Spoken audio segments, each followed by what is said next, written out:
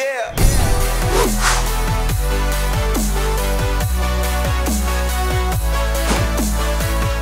Georgia Tech's 2019 season was filled with a few highs and a lot of lows. A high would be somehow upsetting Miami on the road. A low would be losing to the Citadel at home and finishing 3 and 9. So the question going into 2020 is will this year provide more highs for the Yellow Jackets or will it be just about the same as last year? Welcome back to the Gridiron Expert, the best kept secret in all of college football. Today, bringing you our 2020 Georgia Tech Yellow Jackets college football predictions. As always, make sure to continue to like, comment, subscribe, and share these videos. Our final team in the ACC. We've got a recap to go, and then we move on to another Power 5 team. And as always, check out everything down in our description below where you can get exclusive content on our website, thegridironexpert.com, as well as follow us on all of our social media pages over on Twitter, Instagram, and Facebook. So you look at Georgia Tech last year, guys, we knew it was going to be a rough season for them. Geoff Collins steps in for Paul Johnson, who had done so well with Georgia Tech for so long, running that option offense. And Collins came in to try to change the scheme to more of a pro style offense. And the results were bad. Georgia Tech does return 10 starters offensively this year, but it's from one of the worst offenses in the nation.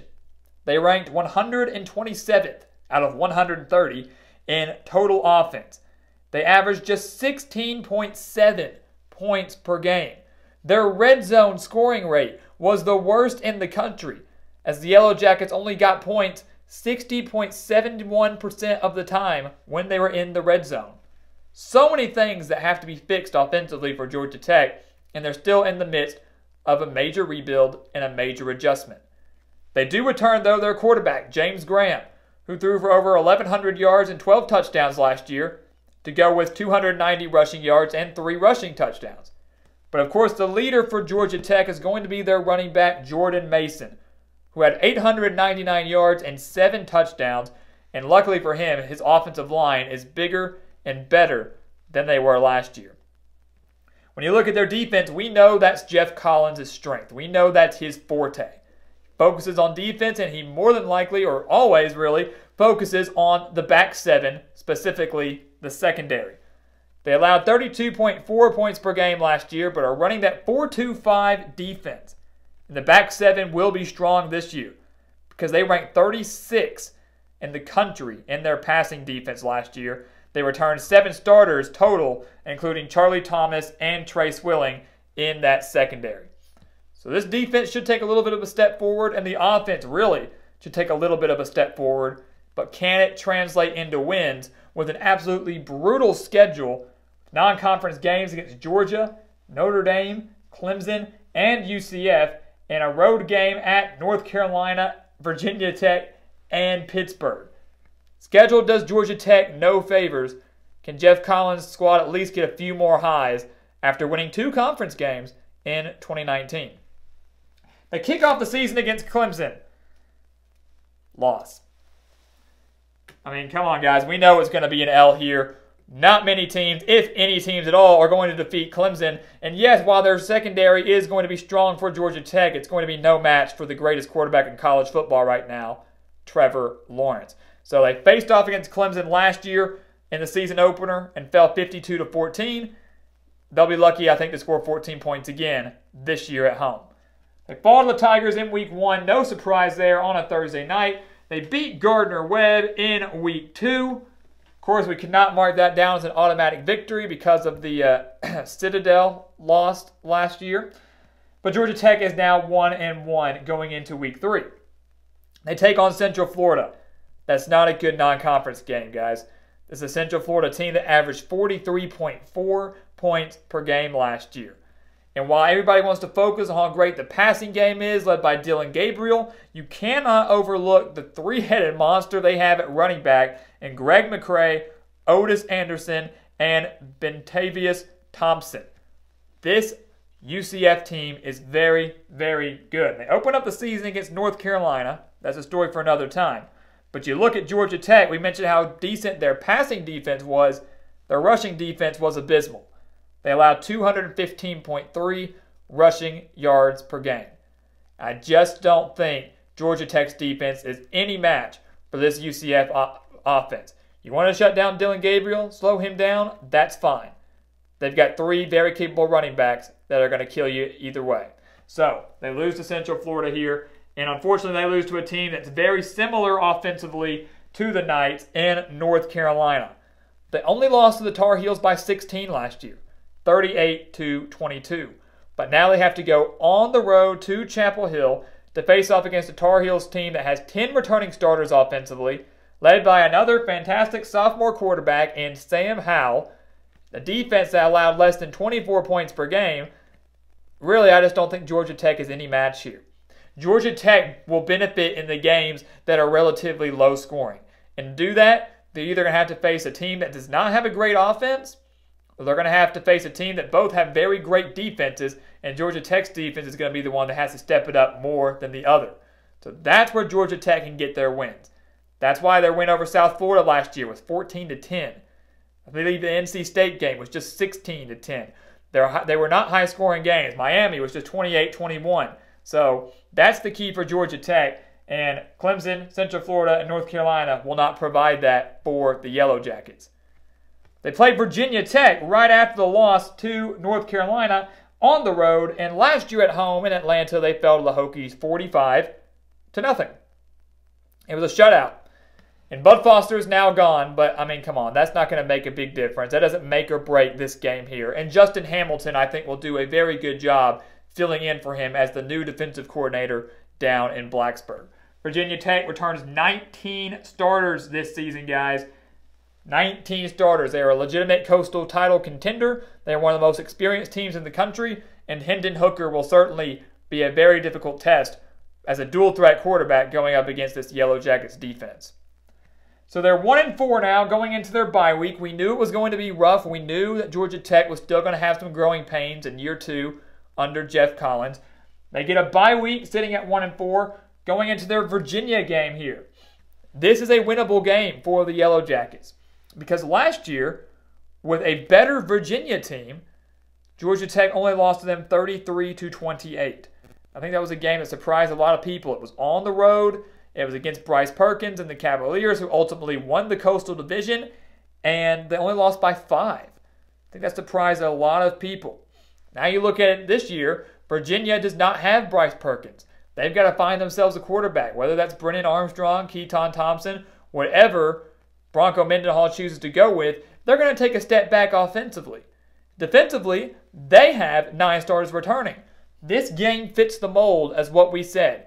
A game where either the offense isn't that great or it's going to be a very strong defensive battle. I think that's exactly what this is. Two very solid defenses, or Virginia's defense going up against an improving Georgia Tech defense, but off a week of rest with the game at home, after only losing by five last year, was a worse team that they're going to have this year. And Virginia having a worse team this year than they had last year, that was a lot to comprehend. But Georgia Tech gets the win. They get a conference win right here on October 17th. They are now 2 and 4, and they just snagged a win over the reigning Coastal champs. They then go on the road to face off against Pittsburgh, a team they only lost to by 10 last year. So they held their own against a Pittsburgh team.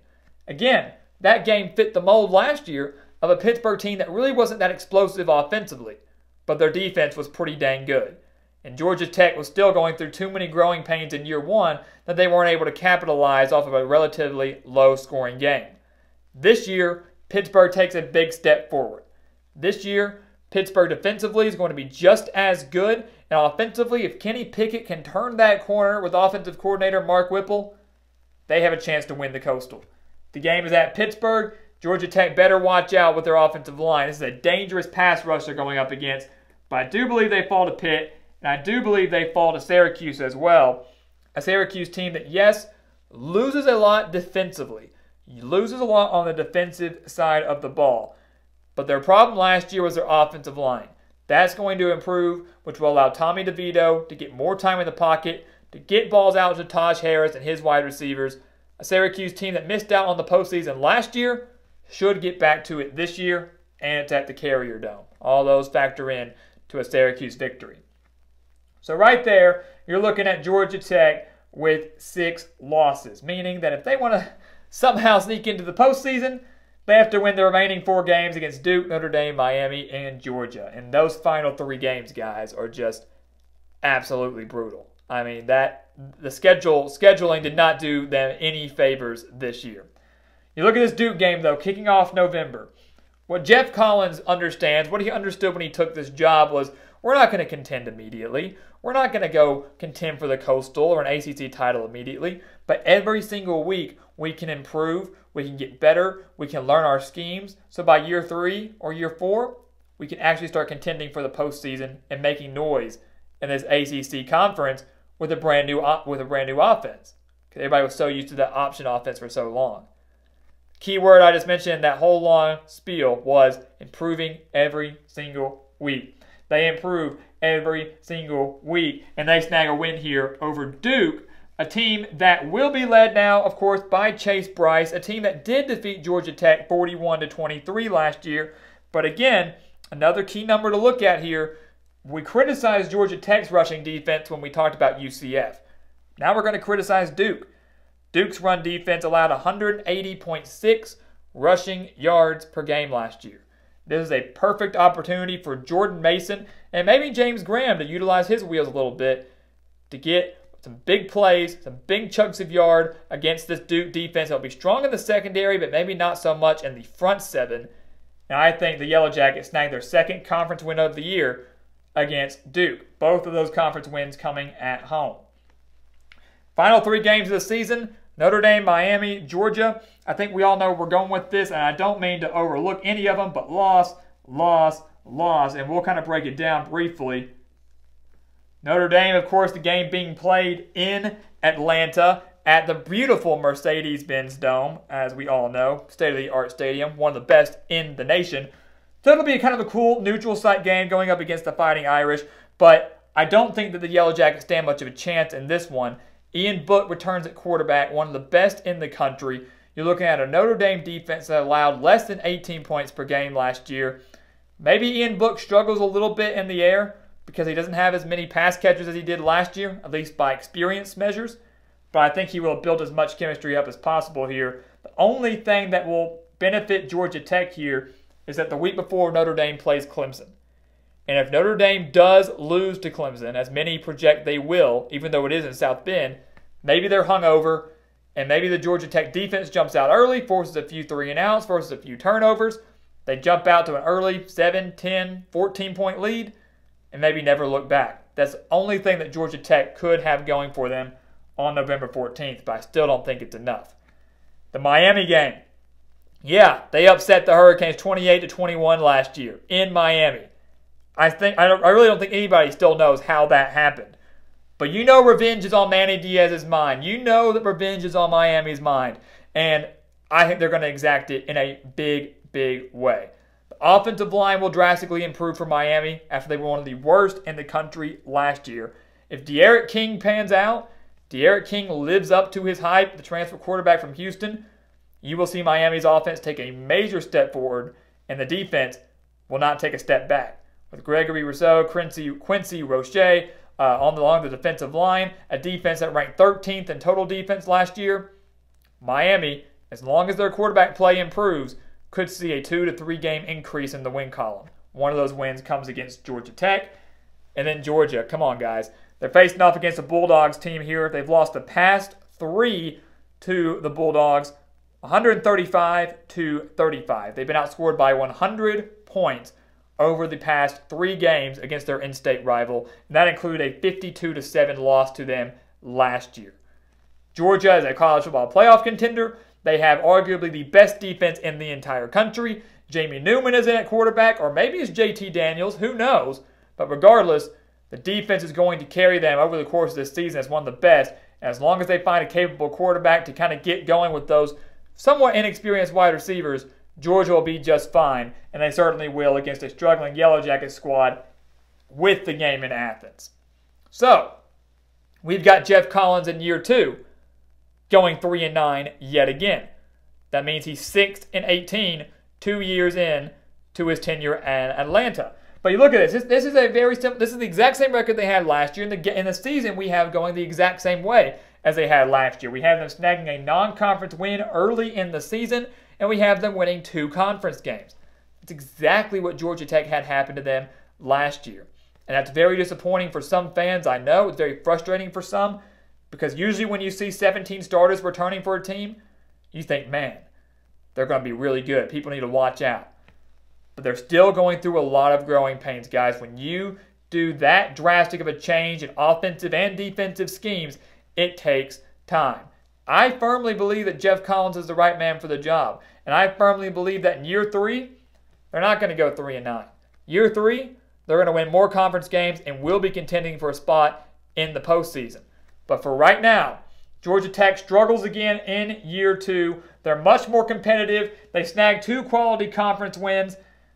But Yellow Jacket fans just have to continue to be patient. So, guys, thank you so much for watching us here at the Gridiron Expert on YouTube. Make sure to continue to like, comment, subscribe, and share all of our prediction videos as we continue to progress through every single Power 5 team. Check out everything down in our description below for exclusive content on our website, thegridironexpert.com. Also on our social media pages on Facebook, Twitter, and Instagram. And once again, as always, thank you so much for watching, and we will see you next time right here on The Gridiron Expert.